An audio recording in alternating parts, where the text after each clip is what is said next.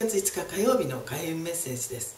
今日のワンポイントメッセージはこちらです。こちらは分離です。何か手放したいなとか手放さなくちゃって思うことがあったらどんどん手放していきましょう。